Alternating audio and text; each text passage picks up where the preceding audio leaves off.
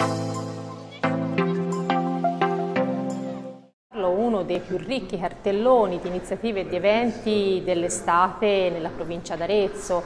tante iniziative per tutte le età, per diverse tipologie di pubblico, accanto a quelle che sono le manifestazioni storiche che sempre ci sono state nel comune di San Giovanni Valdarno, il Festival Oriente Occidente, Opera Viva, Valdarno Jazz, anche poi iniziative legate all'associazionismo locale. Quindi importante l'apporto di tanti soggetti che hanno concorso alla messa a punto di questo cartellone di eventi e di iniziative, quindi a partire dalla Proloco, l'Associazione Residenti Centro Storico, i, i, festival tradizionali ormai storicizzati nel nostro comune, il Centro Commerciale Naturale che per il mese di luglio ha programmato una serie di iniziative e di attività nei cosiddetti mercoledì di luglio e a questi poi si aggiunge una nuova entrata, da quest'anno anche le eh, iniziative organizzate al convento di Monte Carlo dalla Fondazione Best. La Proloco supporta un po' tutti gli eventi questo ci fa piacere anche perché come diceva il sindaco Valentina, eh, quest'anno c'è stata veramente tanta sinergia tra le associazioni e,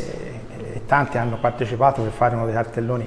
più importanti, oltre 30 eventi. Diciamo che eh, la Palova è sempre a disposizione per cercare di, di supportare tutti gli eventi.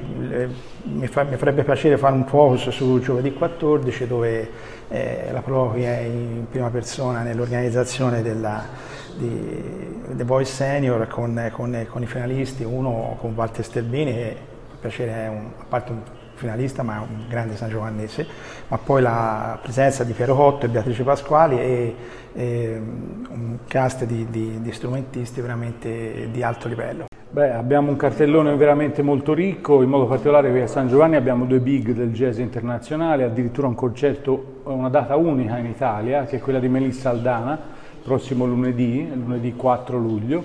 Eh, poi abbiamo il 18, uno dei più eh, importanti batteristi a livello internazionale con il suo gruppo che è Horacio El Negro Hernandez. Sono due grossi appuntamenti importanti. Nada insomma, è,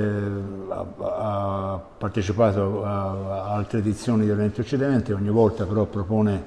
una, un progetto nuovo e, e, siamo molto contenti di ospitarla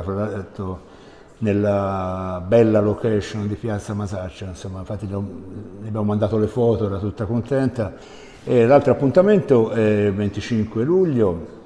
con Banda Bardot e Cisco, insomma l'anno scorso dedicammo Oriente Occidente alla memoria di Enriquez, cantante di, di, di Banda Bardot e quest'anno siamo molto contenti di poterli ospitare con questo nuovo progetto che li ha rimessi in pista.